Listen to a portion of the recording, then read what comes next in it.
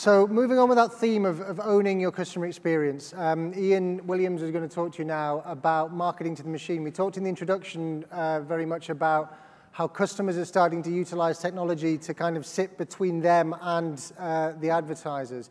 Um, and also how we're allowing machines to start to communicate with our customers. So Ian's going to give you a little bit of insight into what we're seeing in that space as well. That was a bad time to do that. Cheers, mate. No problem. Cool. Um, yeah, so thank you everybody for coming. Uh, I'm Ian, I work here uh, in iProspect and Leeds. I'm an associate director, um, so thank you all for coming. Um, today I'm going to talk a little bit about apps, chatbots, and voice AI. Now I've, in my notes preparing this, I said that they were existing on a fairly grand term which I called a continuum of maturity, which uh, is quite fantastic. But I'm going to, I've said it, I'm going to disqualify that. It's a journey through where those different products and services are. Because to me, and to generally the way I would say it, they are solving a shared challenge, which is how do we communicate with our customers in digital environments.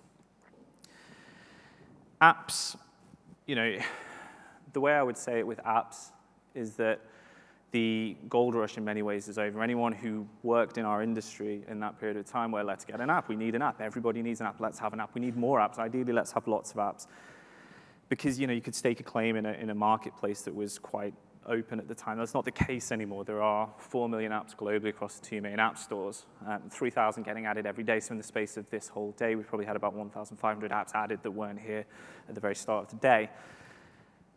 If you're a developer, it's also true. You know, you can't, we can't live this dream of being the next Angry Birds creator. This, this is gone.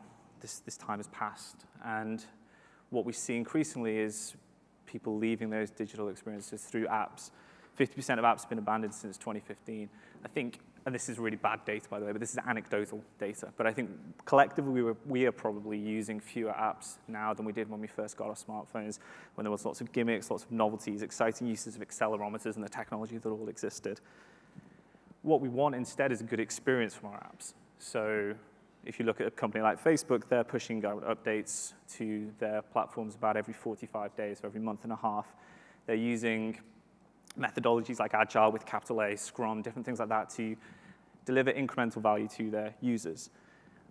On the other hand, we've got 328,000 apps that haven't been updated in three years. So there's a clear distinction between good and bad, essentially. Because yeah, apps are apps are complicated. There's more to them. I think this is probably quite difficult to uh, see because the perils of bright brand colors. Um, but you know, obviously you have your build. Everyone's aware of that, that kind of upfront expenditure, but you have operating expenditures too. You have, you have to consider things like analytics and attribution. So how am I going to join all of this data together? You've got to think about your platforms, the technology that's plugging into that. That's just your build. Then you've got maintenance, which, as we saw before, is where people are kind of falling off. So updates to your operating system, bug fixes, security fixes, and you know, improvements too. Let's not just forget about taking advantage of or dealing with the bad things. There's always opportunities. So, example before of Warby Parker, you've got new technology that was available. So how do you use that to make a better experience in your app to create a product differentiation? And then you've got marketing, and you know, we are a marketing company. So broadly speaking, we would say that on average, this sort of for every pound that you invest in the build of your app, you're going to need to spend another two in marketing. It's, then you've got your maintenance costs as well. So the position around apps is more complex than maybe some of us originally think. So they come with the challenges. This is, this is the point. We have a challenge around reach because it's a congested marketplace. How do we cut through? Why would people come to my app? How do I get through to those people? And how do I manage that experience too? How do I maintain it and improve it and optimize it? And there's another one which isn't on here, but it's fairly critical, which is utility. Um, if we don't think about marketers who want to try the latest things and do the latest exciting things, we've got to think about ourselves as consumers. Why would I use your app? For what reason? Like mobile responsive technology and design has moved on so much. What is the, what is the reason for your app to actually exist? Are you going to spam me with push notifications to pull me back in? Because that's not really an ideal thing. Are you going to constantly offer me product discounts and vouchers and so harm the profitability of your business? What's the reason for your app to exist? If you can answer that, that's great. But in many cases, it's a difficult question to answer. And that's kind of reflected in the stat that 80% of users' time is spent in just three applications. One of those apps would be a messaging platform. So we look at, again, this is, apologies, it's difficult to see. This is kind of a story that we're seeing again, so throughout today. So the your most popular global messenger apps as of the start of this year, you know, at a global level, we've got WhatsApp and Facebook Messenger, and then beneath that, you've got WeChat and QQ, both owned by Tencent and now with China. WhatsApp and Facebook Messenger lead the way. Within the US, you've got Facebook Messenger at the, at the top, Snapchat. I think this is before whichever one of the Kardashians destroyed Snapchat. I can't remember. Uh, I'm not up on, I will, I will happily, happily celebrate the fact that I don't know my Kardashians. Um, so you've got, sorry. But in the UK, it's more balanced picture. So the, the split there is a, is a darker color there, which looks like a darker green on these screens. So Facebook Messenger and WhatsApp kind of neck and neck, which is a pretty good position for Facebook to be in. Snapchat's uh, kind of just falling off a bit there. And again, that's the same in mobile reach. I mean, look at the numbers. Look at the, don't just look at the, the shapes, look at the numbers. We've got 56.8% in the US, we've got 43% in the UK, and 39% for WhatsApp. These are where people are. And this growth is, it's not slowing. It's a nice graph if you work for either of these businesses, but essentially this growth and acquisition of users is growing and growing and growing. We're not seeing that slow down. The way in which people use it on the left, we have WhatsApp, and on the right, we have Facebook Messenger. And we can see that obviously Facebook is kind of, there's a balance to how we use it. Different people are using it in different ways. WhatsApp is much more heavily focused around the using it multiple times a day. I mean, we're coordinating a lot of stuff today through WhatsApp, um, which you probably wouldn't do through Facebook Messenger because of you know, the fact it requires your, your Facebook connection to Facebook rather than your mobile phone number, and it's just the nature of the network. But either way, they're astonishing figures, the, the activity on these platforms. So if we forget about technology and we actually just think about how do we, how do we interact with our customers, those shared digital experiences, messenger bots and working in messenger platforms provides a number of opportunities. It's kind of, it's seen as exciting, it's dressed up as exciting. Um, but actually, I'm going to argue a couple of points on that because, pardon me, that was a bad thing to do. Uh, from a point of view of whether or not it's complex, it sounds complex, it sounds you know, kind of futuristic, I'd argue that it's actually easier. You're leveraging a platform that already exists. It seems that it's innovative because it's exciting and new and you know, there's not that many people doing these types of things. I'd argue it's actually a pragmatic decision because the reach is handled, the frequency is handled. All I need to do is focus on the experience, which, you know, one of three, I'll take that. The other argument is that it's cutting edge and that it's new. And I would argue, well, if anybody ever spent time trying to write a letter in Microsoft Word in the 1990s. Uh, that makes me feel a little bit old, but there we go. Um, he was always there to help me in his various forms, Clippy.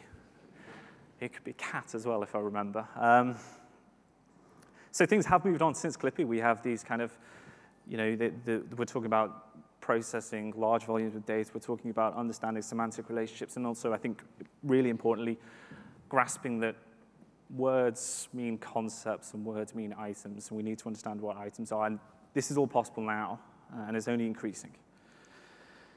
So within the kind of the space of Facebook, we have 2 billion monthly messages between users and the businesses, 36,000 bots on Messenger, which is you know, quite a steep uptake, but it's still, you know, it's still early doors in this space, really. And the people who do message businesses, the vast majority of them are saying that they are doing that more. We don't see any reason why that will change. So coming back to the kind of the fundamental challenge of us as marketers, it's to be in the right place at the right time. And we know from the usage stats that so many people and so many of our markets and our customers are already in these spaces. They are taking part in this. They are increasingly exhibiting the behaviors of people who are willing to interact with these platforms. As we've heard earlier, the platforms can do more things than we previously thought. So we can transact, we can start to trade money, we can pay for things, we can arrange things, we can do all kinds of different things through platforms that we couldn't do previously. We can see that here in the, some of these stats from some global case studies, about a 4% increase, in, uh, sorry, 4% increase in conversion through booking a test drive for a car. So how do you curate the sort of exploration process for customers when they're looking for a car? We can increase in-store reservations. And we generally just see across the board this, again, this is another word. I didn't come up with this word, but this is conversational commerce. Um, and the idea is that people are increasingly happy to interact with brands in this way through their existing messenger platforms because that's where they are and we can work with them in those places. you don't have to, of course, use that type of technology and that type of conversational approach within just those platforms. You can, of course, build that functionality into your own app. They work. The fundamental point is that the technology, the process, the idea of using an automated chat solution is it works because your customers are essentially time poor. I am, so I've, I've always felt, I think, relatively uncomfortable with the, with, well, whenever I get an unexpected item in my bagging area, that type of automation frustrates me sometimes. But I keep finding myself going towards it because, you know, what, sometimes I don't want to talk to people, and sometimes I just want to do this quickly and get, get my stuff and get out of the shop. And you know what? There's a number of studies as well that say that people buy things differently when they don't have to take it to the person at the till as well. So there's some interesting things there. This can exist inside an app of your own. This is the Gartner hype cycle, which if you haven't seen it, it's worth it's worth looking at, at least for its grand names of the stages in its charts, which I think we should all take a lesson from. Um, it charts out the sort of the hype and the talk around new technology. So you see this very quick spike where we see, which reaches the wonderfully titled peak of inflated expectations. This is where we think these, this technology, whatever technology it may be, is going to change the world. It's going to do everything that we ever thought it could do. That then lapses pretty quickly into the trough of disillusionment, where we realize that's not the case. It's not really done anything. Um, it just made me spend a bit of money. Um, then we go to the slope of enlightenment and then move to the plateau of productivity where the technology actually finds a home in society. A good example of that would be Google Glass.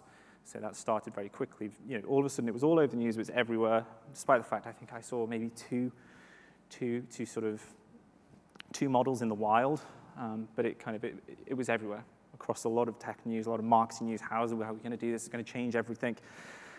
Where is it now? Well, it, it didn't change that much, actually. It didn't really do as what we thought it would do. So it kind of plunged into the trough of disillusionment, but it did find a home in manufacturing. The technology will find its home in many different products and services still to come. So that's when it's on the plateau of productivity. The point is that when it comes to new technology, we need to not be blinded by what's possible, but actually find out what's effective, where, where are our customers, and how can we actually engage with them.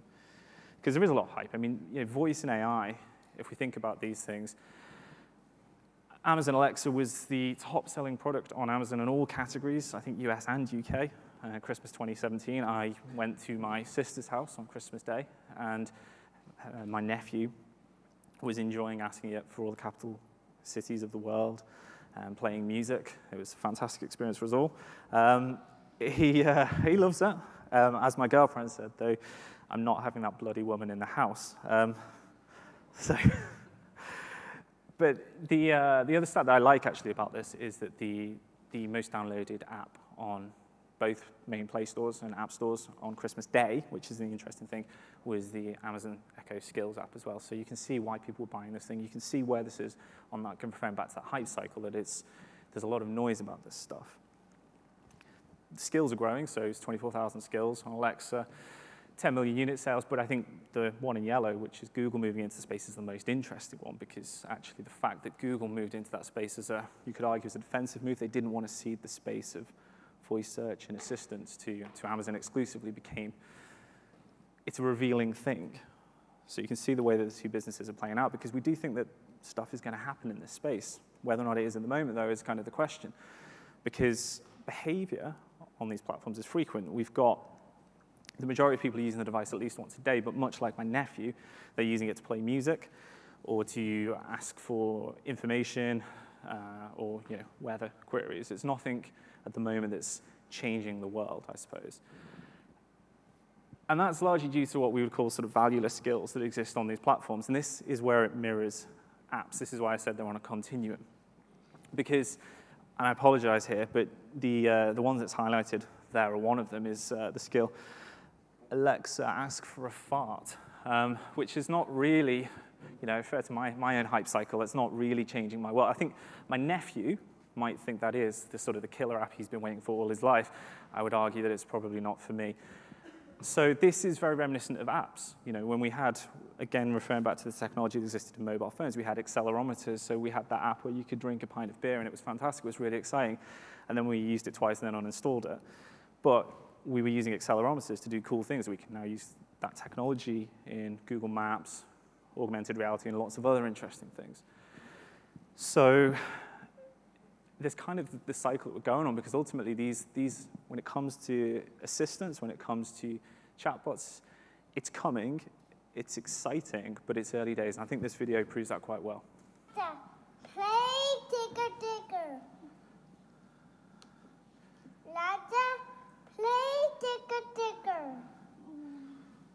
Bobby, can you talk to play wheels? You want to hear a station for porn detected. Porno ringtone, hot chick, amateur girl, box? quality, No, sexy. no, no, no, No. Hot pussy, anal dildo, ringtone. Alexa, Android. stop!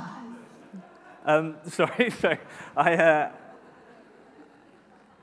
I have no idea what was going on. So that's a question for the Amazon talk later. Um, but sorry. but I love the mad scramble. No! Um,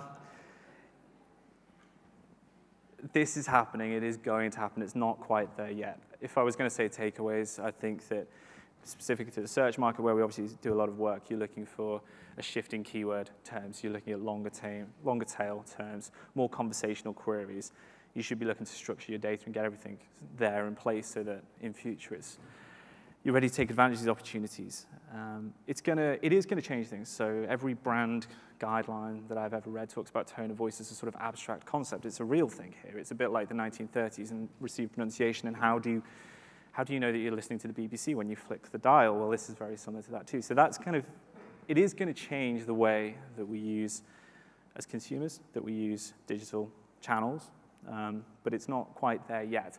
So if there's a takeaway that I've got from this, I think it's to say, let's not be so excited by what we can do or what we could do in the future, or be so predictable to do what we've always done and build apps.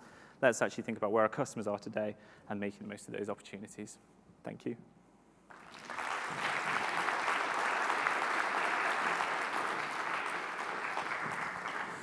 Thank you. So a few interesting topics that kind of took us on a bit of a journey through kind of um, through voice, through chatbots, through apps, through customer experience generally. If, it's a broad range, I guess the second part is, is kind of starting to bring to life some of the stuff that we can do when we get our data strategy right. Does anybody have any questions that they'd like to ask Ian in relation to those topics and themes that we've covered in that talk? Do you have one over here? We've got the mic.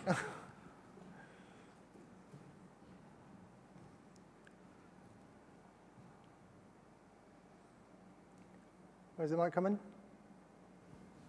No. No?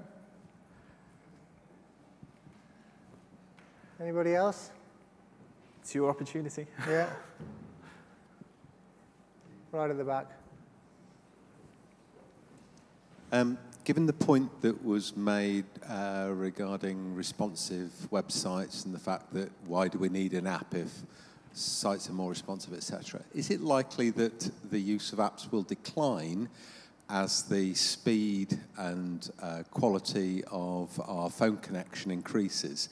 Because at present, the experience of opening a website on many phones in average situations is pretty crap because you've got a seven 10 second delay in the damn thing to load. So as we get 5G, 6G, whatever comes next, um, will that cause the death of apps? Death of apps. Um, I, I think that, so 5G will come along and what we'll do is we'll create more complicated websites, more complicated adverts, so it'll still load as slowly as always did. It'll run like the Red Queen. The thing that I would say is more interesting is if you can look that, um, you know, I'd argue that there are aspects of the web and the infrastructure that sits behind the web, the way that we build websites, um, that have been kind of played out between media providers as a bit of a bit of a squabbling ground in some ways. So Google's accelerated mobile pages became, you know, that was a response to the fact that people moving to consume content through Apple and potentially through Facebook too. So that was going to directly harm Google's revenue stream. Now they're trying to push out AMP as a kind of general standard for a lot of websites as well. They're trying to develop that as some way off. Um, that would be more likely to create the kind of situation where people are more likely to shop, uh, more likely to use a responsive website than an app. But I would say that you know it's still possible to, mean, yes, loading speed is a huge thing. So it's a huge influ- influence on conversions. So at the very least, you know, you can make your, there's probably very few businesses here, there's probably very few businesses anywhere really that could not make their mobile website work a bit faster anyway. And if you can do that, then you start to reduce the necessity for a separate experience unless it has a specific reason to exist. And that's kind of my argument. It's not to say that there's no need for apps, but it's to say that unless your app is adding something truly valuable, truly, truly unique that you couldn't do through the website, why would I use it? Does that answer your question? I, I can't really see you, sorry. Cool. Any more questions? One right at the back up there. Hi, Ian.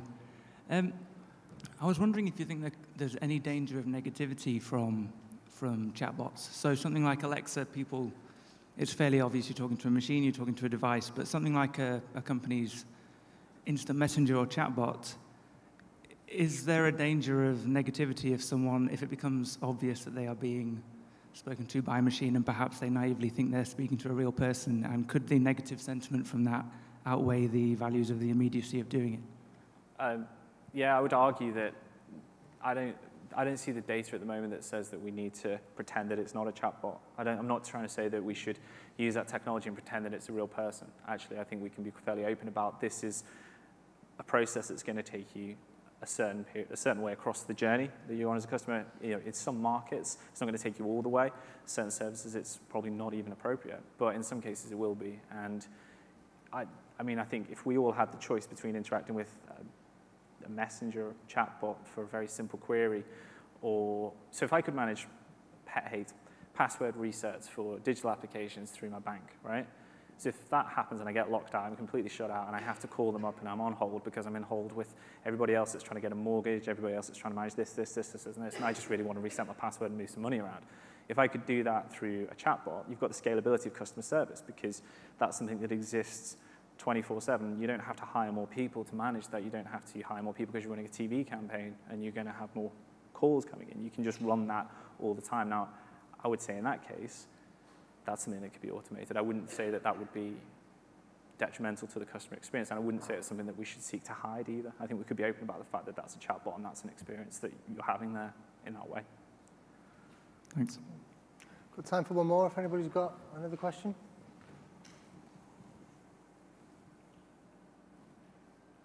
No? No more? Okay. Well, thanks very much, Ian. Thanks Thank for that. Cheers.